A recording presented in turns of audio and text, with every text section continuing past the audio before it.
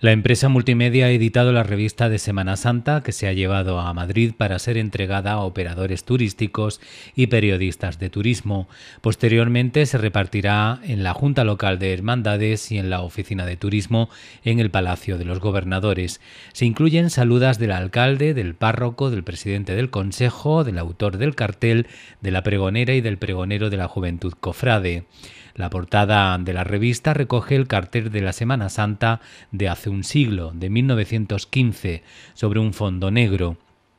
La revista cuenta también con los actos de cuaresma a desarrollar en la ciudad e incluso con los itinerarios de las distintas salidas procesionales de las hermandades y cofradías. La teniente de alcalde de turismo, Dolores Marchena, recordó que en el pleno ordinario de diciembre de 2014 se aprobó por unanimidad una moción sobre la denominación de la Semana Santa de San Roque como de interés turístico internacional. Con esta moción se pretende retomar dicha petición. La edil apuntó que han tomado contacto en Fitur con periodistas especializados en turismo a fin de que puedan realizar reportajes sobre la singularidad de la Semana Santa sanroqueña que refuerce la petición realizada.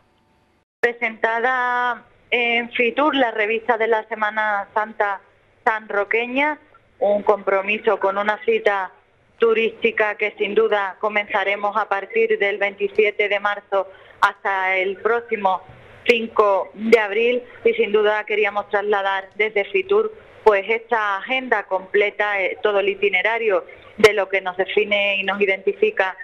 eh, como cita turística y además agradeciendo también a la Junta Local de Hermandades y Cofradías y en definitiva a todos los cofrades sanroqueños que en conjunto con, con los ciudadanos pues destacan la particularidad eh, concretamente el viernes con la Magna y ahí estaremos acompañando desde la Delegación de Turismo.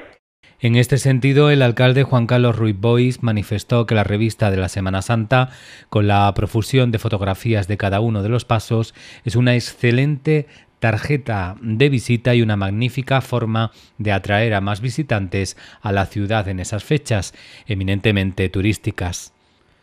En cuanto a la agenda cultural de febrero, Dolores Marchena ha señalado que el mes de febrero será especialmente relevante desde el punto de vista cinematográfico, ya que no solamente tendrá lugar el veterano Festival de Cortometrajes durante la semana próxima, sino que también habrá actividades paralelas. La Edil destacó que la introducción del formato digital ha supuesto un gran salto para la Semana del Corto, porque el número de películas aspirantes ha sido abrumador, un total de 1.175 de entre las que se han seleccionado 50. Dolores Marchena espera que este festival vuelva a congregar en el Teatro Juan Luis Galiardo a los amantes del cine de todo el campo de Gibraltar. En cuanto a los actos, con motivo del Día de Andalucía, indicó que la Delegación de Cultura colaborará con la Peña Flamenca y con la Asociación de la Canción Ligera en sendos conciertos, además de que se encargará de organizar la ofrenda institucional a José Cadalso y la presentación de un libro sobre el andalucismo histórico.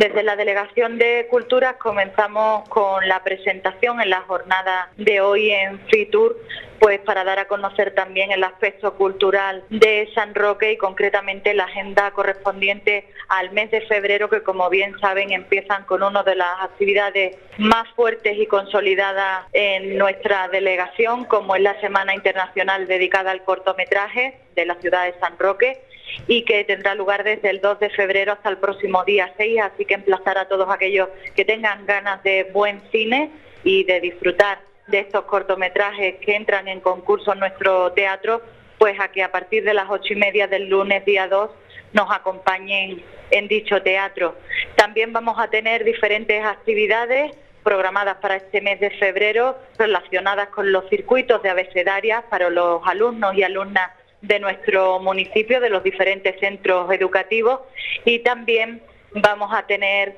eh, la exposición de Esteban Gallego que complementa también a nivel cinematográfico estas, estas citas perdón, que comentaba anteriormente y también talleres de formación dedicados al cine en el que nos van a acompañar en estos talleres el cineasta Miguel Becerra y concluiremos esta amplia agenda cultural en San Roque con, los días, con el día dedicado al Día de Andalucía, con numerosas actividades programadas en las que van a colaborar distintas delegaciones del Ayuntamiento de San Roque y que sin duda daremos a conocer de forma más pormenorizada eh, en breve.